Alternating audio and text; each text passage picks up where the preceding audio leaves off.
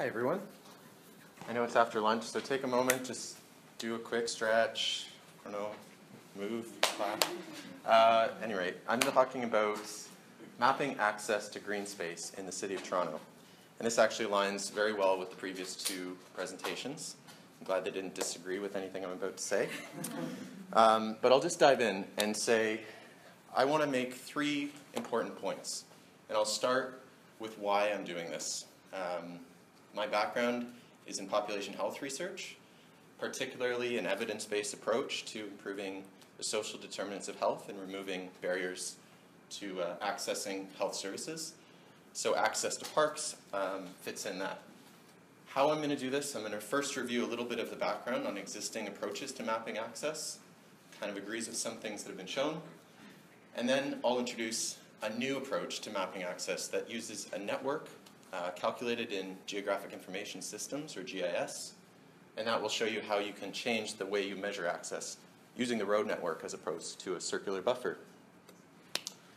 So in the context of public health, uh, some of you may know that Toronto Public Health recently reduced, uh, produced this evidence review, and I won't go into details, but simply to say there is a breadth of evidence suggesting that access to parks and green space um, has a direct impact on physical health, both directly through increased activity or indirectly through reduced uh, obesity and reduced chronic disease, as well as really important social health and mental health aspects. Um, so that's the context. We want to get people to parks.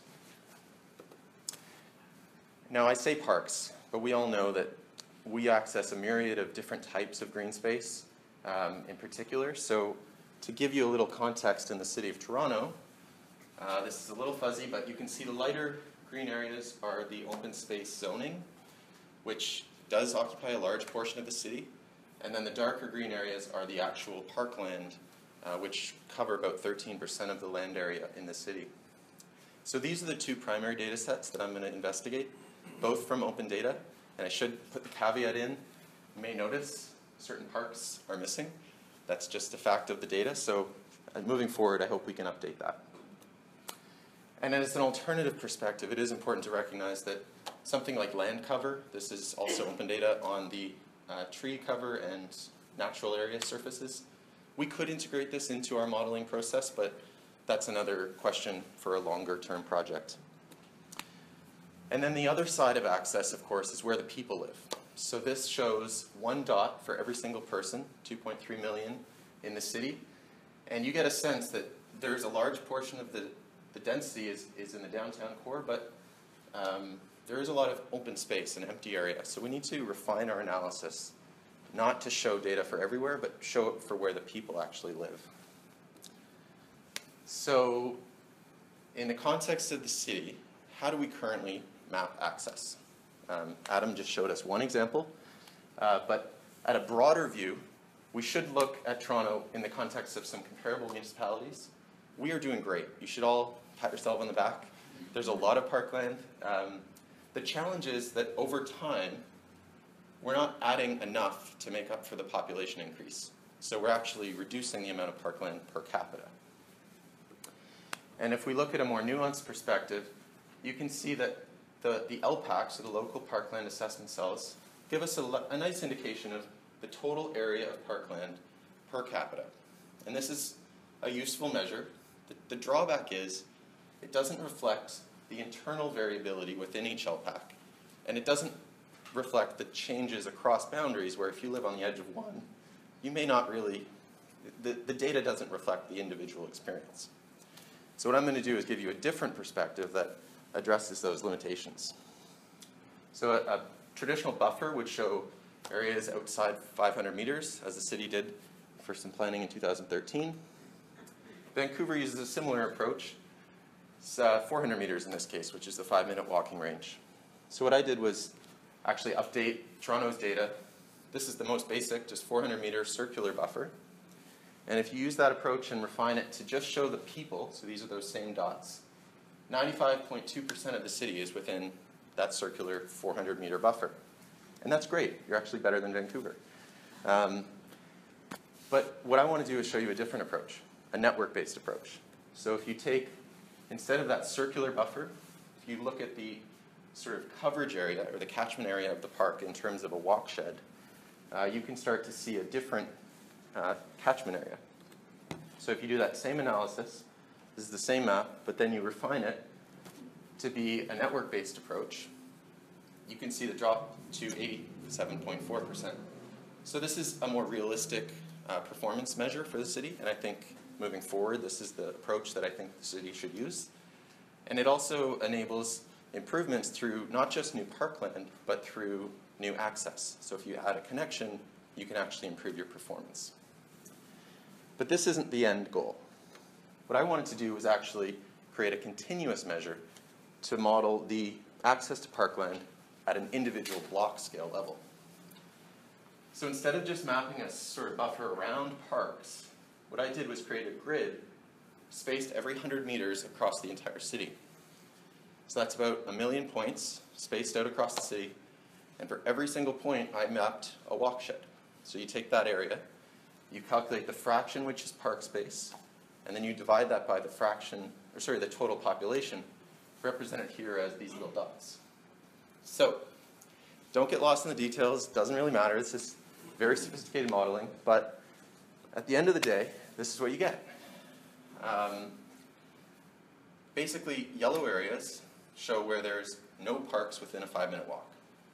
And then there's a gradient. Instead of just that binary access or no access, you start to see how much land is within that walkshed area. So if you live in this little dot, you have no access. If you live in this light shade, you have 1 to 5% of your land area is park or open space, as I've added in the open space layer. Now, take a deep breath. This is pretty cool. I, I was really excited with this. Um, but the next step was then to integrate the population and standardize the result as a measure of parkland per capita, just like those LPAC cells. But in this case, we're doing it for a million points across the city to come up with um, basically a measure of total parkland area per capita. So you see some hotspots in the downtown core where we have a lot of people and not a lot of parkland. It's not too surprising. And I should put the caveat in that some areas are industrial land where we don't need a lot of parkland. And the other uh, aspect that's not reflected is the daytime population. So commercial areas may be underserved here uh, if they're just office workers. And we could integrate those through other data sets, but this was a relatively small project.